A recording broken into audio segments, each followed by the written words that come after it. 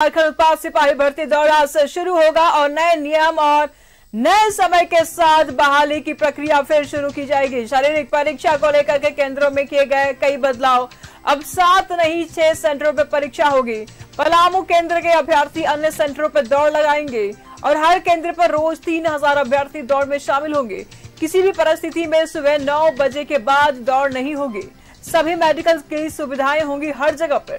केंद्रों पर पर्याप्त संख्या में ऑक्सीमीटर और रक्तचाप मापने की मशीन होगी। 22 अगस्त से 2 सितंबर तक चली शारीरिक दक्षता परीक्षा में 13 अभ्यर्थियों की मौत हो गई है। बता दें आपको कि सभी मेडिकल की सुविधाएँ उपलब्ध होंगी। सेंटर्स पर, केंद्रों पर पर्याप्त संख्या में ऑक्सीमीटर्स और रक्तचाप मापने की मशीनें होंगी। 22 अगस्त से 2 सितंबर तक चली शारीरिक दक्षता परीक्षा में अब तक 13 से ऊपर अभ्यर्थियों की मौत की सूचना है। वही झारखंड उत्पाद सिपाही भर्ती दौड़ फिर से शुरू होगी। नए नियम और नए समय के साथ बहाली की प्रक्रिया शुरू की गई है। शारीरिक परीक्षा को लेकर केंद्रों में किए गए कई बदलाव। अब सात नहीं, छह सेंटरों पर परीक्षा होंगी। पलामू केंद्र के अभ्यर्थी अब अन्य सेंटरों पर दौड़ लगाएँगे। हर केंद्र पर रोज तीन हज़ार अभ्यर्थी दौड़ में शामिल होंगे। तो फिर से दौड़ शुरू। किसी भी परिस्थिति में दौड़ सुबह नौ बजे के बाद नहीं होगी। सभी मेडिकल की सुविधा उपलब्ध रहेंगी केंद्र पर। केंद्र पर पर्याप्त संख्या में ऑक्सीमीटर और रक्तचाप मापने वाली मशीन रहेंगी। 22 अगस्त से 2 सितंबर तक शारीरिक दक्षता परीक्षा चलेगी और झारखंड उत्पाद सिपाही भर्ती दौड़ आज फिर से शुरू हो गए हैं। तो नए नियम और नए समय के साथ बहाली की शुरुआत होगी। शारीरिक परीक्षा को लेकर केंद्रों में किए गए कई बदलाव। अब सात नहीं, छह सेंटरों पर परीक्षा होगी। तो पलामू केंद्र के अभ्यर्थी अब अन्य सेंटरों पर दौड़ लगाएँगे। तमाम जानकारी के लिए दीपक इस वक्त हमारे साथ जुड़ चुके हैं। दीपक, फिर से बहाली की प्रक्रिया शुरू कर दी गई है, फिर से दौड़ होंगे। क्या कुछ नए नियम है? क्योंकि चिंता का विषय है।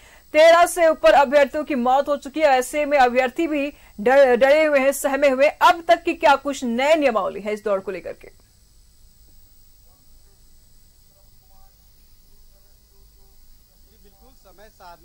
में बदलाव के साथ नई व्यवस्था के तहत जो है, आज से दोबारा उत्पाद सिपाही बहाली की प्रक्रिया को शुरू किया गया है।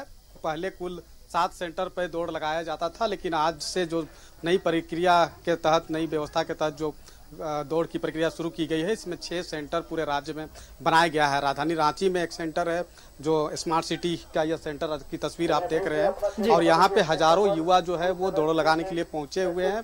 और दौड़ की जो समय सारणी जो है वो सुबह नौ बजे तक ही जो है वो दौड़ कराया जाना है जिसके तहत जो अभ्यर्थी यहाँ पे पहुँचे हैं युवा पहुँचे हैं, वो यहाँ पे दौड़ लगाते हुए नज़र आ रहे हैं। नौ बजे के बाद यहाँ पर दौड़ नहीं कराया जाएगा, चूँकि नई व्यवस्था के तहत जो आज से शुरू की गई है दौड़ की प्रक्रिया, उसमें नौ बजे तक ही जो है, वो दौड़ लगाया जाना है। पहले दोपहर के वक्त भी दौड़ लगाया जाता था तो दोपहर में उमस भरे भी गर्मी से लोगों को परेशान होना पड़ता था, और जिस तरीके से ब्लड प्रेशर बढ़ जाने की वजह से चक्कर खाकर गिर जाते थे और कई ऐसे मामले सामने आए कि एक दर्जन से अधिक युवाओं की जो मौत है, वो इसके कारण हुई है। तो इसको लेकर के कई दिनों तक जो है दौड़ की प्रक्रिया को स्थगित किया गया था और आज से समय सारणी में बदलाव के साथ, नई व्यवस्था के तहत तमाम सुविधा के साथ जो है दौड़ की प्रक्रिया को आज से शुरू किया गया है। तो यहाँ पे बड़ी संख्या में जो युवा है, वो यहाँ पे पहुँचे हुए हैं।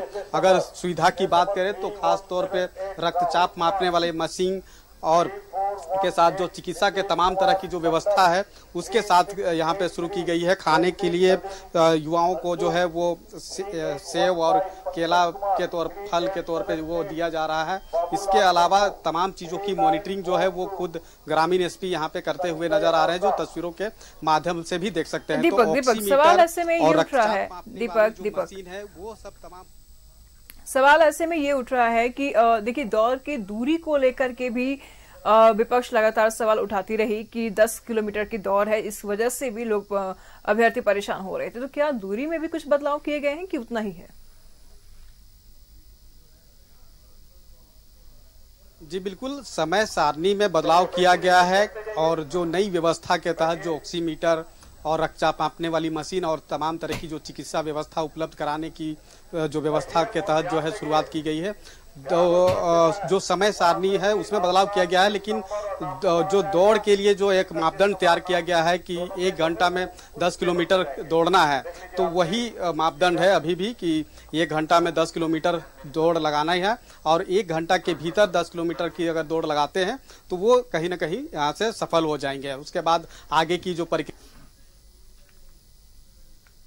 अन्य तरह की जो जो एग्ज़ाम होते हैं, वो सब प्रक्रिया आगे होगी। लेकिन फ़िलहाल जो व्यवस्था के तहत, जो दौड़ की प्रक्रिया झारखंड प्रदेश में जो नियमावली के तहत शुरू की गई है कि एक घंटा में दस किलोमीटर दौड़ना है, वही व्यवस्था है, उसमें कोई बदलाव नहीं किया गया है। बदलाव सिर्फ़ इतना किया गया है कि पहले जहाँ दोपहर के वक्त भी दौड़ाया जाता था, उसमें बदलाव किया गया है, जो कि सुबह नौ बजे तक ही जो है, वो दौड़ लगाया जाना है। तो दो बजे तक ही दौड़ कराया जा रहा है और चिकित्सा व्यवस्था में खासतौर पर जो है बदलाव किया गया है। पहले जो चिकित्सा व्यवस्था में कमियाँ रहती थी, उसमें व्यवस्था को बढ़ाया गया है। ऑक्सीमीटर और रक्तचाप मापने वाली जो मशीन है, उसके अलावा चिकित्सा के जो कर्मी है, वो यहाँ पे तैनात जो है, वो किए गए हैं।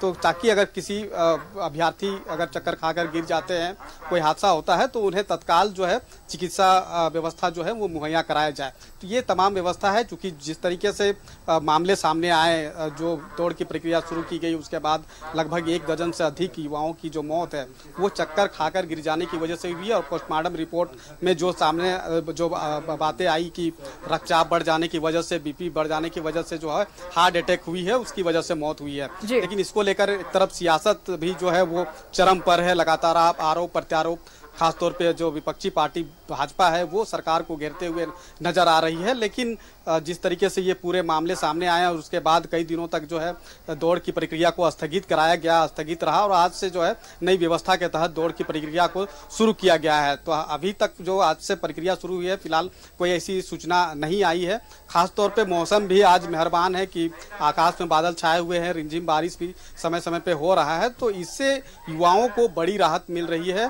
और जो निश्चित समय जो एक घंटा का है, उस समय के अंदर जो है, कई युवा जो है, वो दौड़ लगा करके सफल भी हो रहे हैं। और दौड़ की जो प्रक्रिया है वो चल रहा है। एक घंटा में जो 10 किलोमीटर की दौड़ लगाने की जो नियमावली है उसी के तहत यहाँ पे दौड़ जो है वो लगाया जा रहा है। जी। ठीक है दीपक नज़र बनाए रखेगा लगातार हम आपसे अपडेट लेते रहेंगे। फ़िलहाल शुक्रिया आपका इन तमाम जानकारियों के लिए। तब सात नहीं छह सेंटरों पर दौड़ के सारे कई सारे नियमावली को भी बदला गया है। हर केंद्र पर रोज तीन हज़ार अभ्यर्थी अब दौड़ेंगे।